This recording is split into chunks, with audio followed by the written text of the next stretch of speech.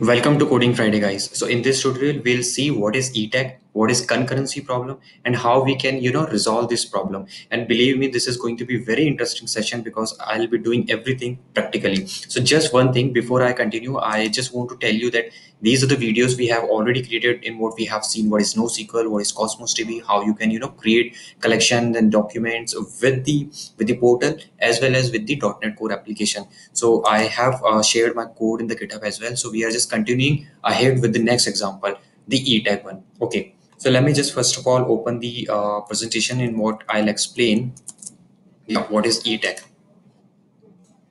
So just two things I'll cover very quickly. Uh, we'll see what is concurrency and then what is ETAG and we'll see with the live demo. So let's understand what is concurrency in real scenario. Okay, let's say uh, in your application, there is one user who requested to the server to get some data. And let's say it requests for the some unique number and your server returns the 50, let's say uh, the, the current value of that data. Now you have a one logic that you want unique ID to be plus one that means you fetch 50 and you want to save in the database after adding one into this. The example, uh, the output should be 51 and it gets saved in the in the database. So this is the real uh, this is the real scenario uh, where one user is requesting data, it is fetching uh, from the database and it's saving. But let's say you have a multiple users. Yeah. So in the multiple users, you have two users they requested for some amount and the current value in the DB was 50 and that is why uh, the response was 50 to each user. And then after uh, the first user added the logic unique ID equals to unique ID plus one. At the same time another user also added this logic. Now the thing is uh, in real scenario in a very quick time in a very quick time let's say before this first user, request post request get saved the database with the amount of 51 the another user which is a second user his value uh, you know uh, processed with this logic and implement incremented with the 51 and get saved in the database.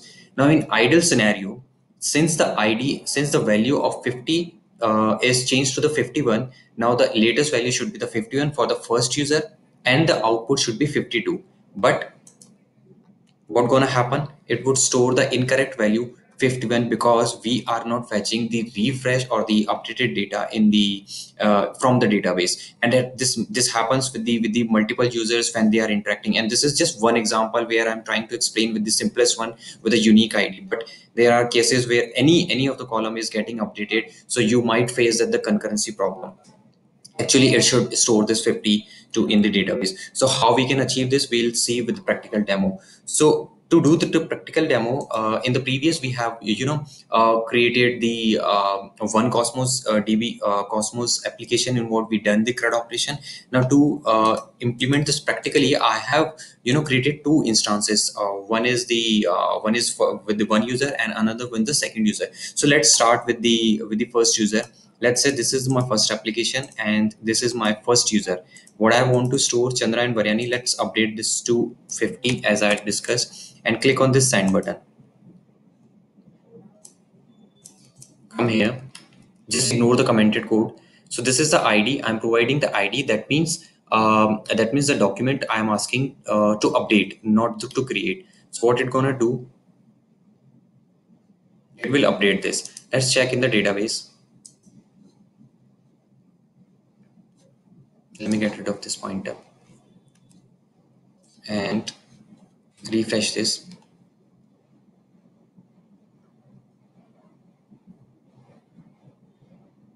we should have the 51 value in the DB.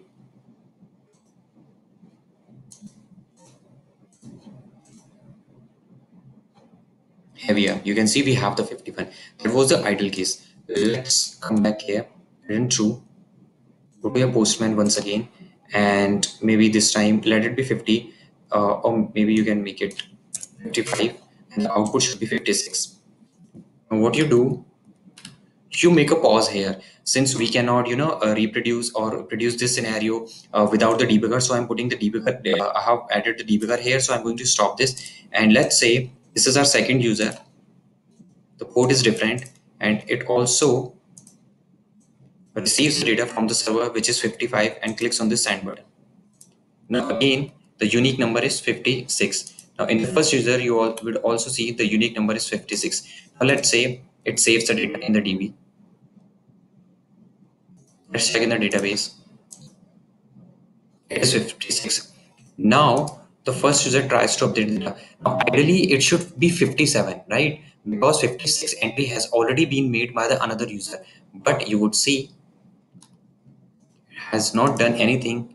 Also has a 56 56 maybe this is the id which uh, you are getting and then based on this id you are making another entry in the table uh, thinking that this is the unique id right? But this this gonna mess up because you have two uh, records of, of the 56 now how we can get uh, get rid of this? Important thing which you would notice here let me just uh, first of all run this and remove this debugger and let's go to the user let's update this the interesting thing to notice here, this e property. So this is 05004B69. Just click on this update.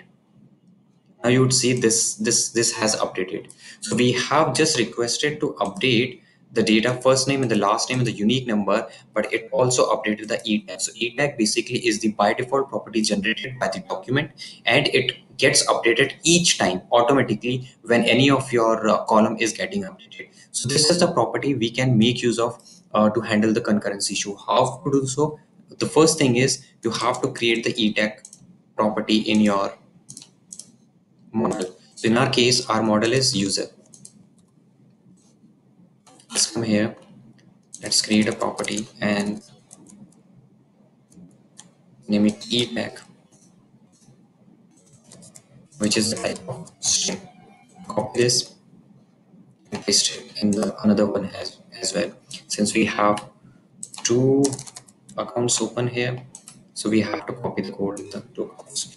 So this is the e-tag property. Now this e-tag property needs to be passed from here as well. And remember this is case sensitive. So the id let's say we have in our case this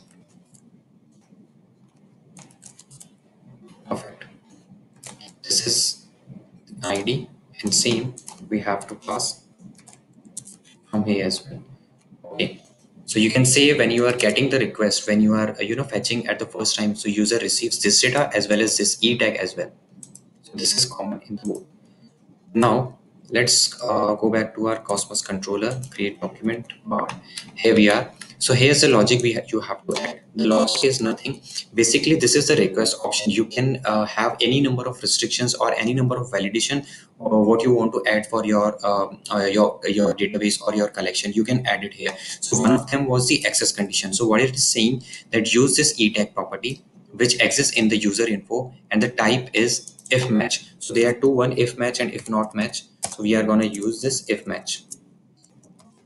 And then you have to pass this as a third parameter like this requesting option. So what it gonna do? It will validate based on the e tag if the match the update will be successful else it will throw the error. So let's do the same code in the already pasted just to do not have or just to avoid the syntax problems so we are passing this request option so this is not the only thing uh, with the e-tag. As I said that the other sort of validation such as a partition key and we'll see in the later part, uh, these all can be added in the request option and we can pass it using this. So now let's run this application. Also, let's run this application too.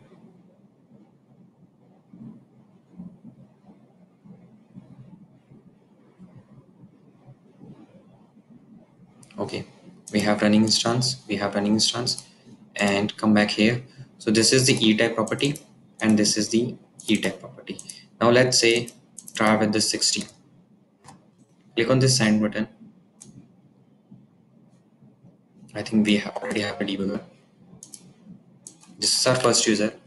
Now the unique number is 61 that's okay. We have the request option available here. Now let's try to save this before uh, actually try to save this let's come back come back here. And this is our second user. And this is 60 so make it 60 click on this send. So remember this is our second user. The first user is just on hold here. So it has to save. And you see we have the true result. That means in the database we should have the updated value should be 61. We have the 61. Now since uh, we have the update in the unique number, the uh, e tag value, just a second, the e tag value is updated, but we do not have the updated value here. So we should ideally have the exception. Here we are. Operation cannot be performed because one of the specified precondition is not met. So the specific reason is that other user at the same time has updated the document. So it says either fetch the record from the database or throw the error. So there, there are two uh, things which you could uh, do.